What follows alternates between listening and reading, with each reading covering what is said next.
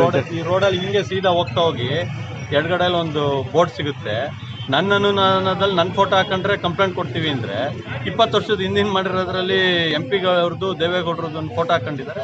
ಅದ್ರ ಬಗ್ಗೆ ಫಸ್ಟ್ ನೀವು ಅವ್ರ ಗಮನ ಸೆಳೀರಿ ಆಮೇಲೆ ನನ್ನ ಬಗ್ಗೆ ಏನು ಕಂಪ್ಲೇಂಟ್ ಕೊಡ್ತಾರೆ ಆ ಕಂಪ್ಲೇಂಟ್ ಕೊಡಲಿ. ನಾನು ಅದನ್ನು ಕಾನೂನಾತ್ಮಕವಾಗಿ ಏನಿರುತ್ತೆ ಅದನ್ನು ಮಾಡ್ತೀನಿ. ನನಗೇನು ಫೋಟೋ ಫೋಟೋ ಪ್ರೀತಮ್ ಗೌಡ್ರು ಫೋಟೋ ಹಾಸನ ವಿಧಾನಸಭಾ ಕ್ಷೇತ್ರದ ಪ್ರತಿ ಮತದಾರನ ಹೃದಯದಲ್ಲಿ ಒಬ್ಬ ಕೆಲಸಗಾರನಾಗಿದೆ.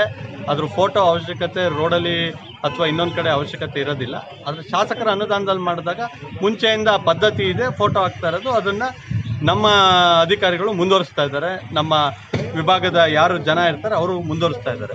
ನೀವು ಬೇರೆಯವ್ರು ಮಾಡಿದ್ದಕ್ಕೆ ಇವ್ರು ಫೋಟೋ ಹಾಕೊಂಡಿರೋದಕ್ಕೆ ಯಾರು ಚಕಾರ ಎತ್ತಿಲ್ಲ. ನನ್ನ ಅನುದಾನದಲ್ಲಿ ನಾನು ಮಾಡಿದ್ರೆ ಬೇಜಾರು ಆಗ್ಬೇಕು ಇವ್ರಿಗೆ?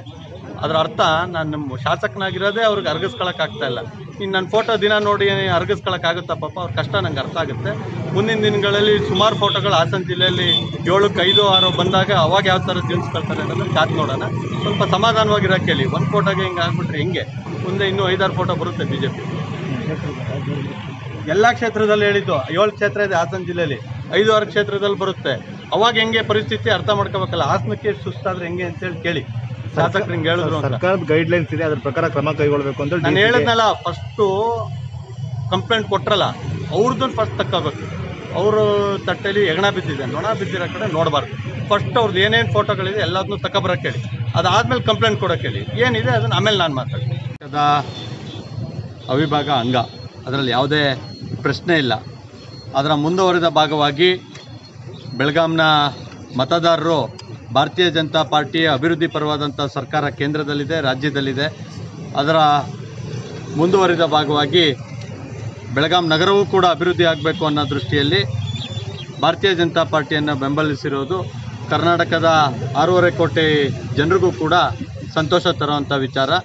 ಯಾಕಂದರೆ ಎಂ ಇ ಎಸ್ನ ಪ್ರಾಬಲ್ಯ ಇದ್ದಂಥ ಸಂದರ್ಭದಲ್ಲಿ ಒಂದು ಏನು ಭಾರತೀಯ ಜನತಾ ಪಾರ್ಟಿಯ ಈ ಸಾಧನೆ ಇದೆ. ಇದು ಭಾಳ ಗಮನಾರ್ಹ ಮತ್ತು ಪ್ರಶಂಸೆಗೆ ಅರ್ಹರಾದಂಥ ವಿಚಾರ.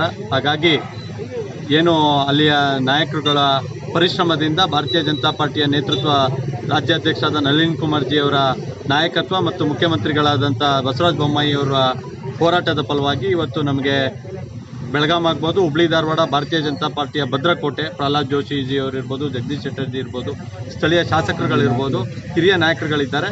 ಹಾಗಾಗಿ ಭಾರತೀಯ ಜನತಾ ಪಾರ್ಟಿಗೆ ಮತ್ತೊಮ್ಮೆ ಮತದಾರರು ನಿಮ್ಮೊಂದಿಗೆ ಇದ್ದೀವಿ ಅಂತೇಳಿ ಹೇಳಿ ನಮಗೆ ಮುನ್ನಡೆಯಲಿಕ್ಕೆ ಒಂದು ಸೂಚನೆಯನ್ನು ಕೊಟ್ಟಿದ್ದಾರೆ ಅಂತ ಹೇಳಿದ್ರೆ ತಪ್ಪಾಗಲ್ಲ.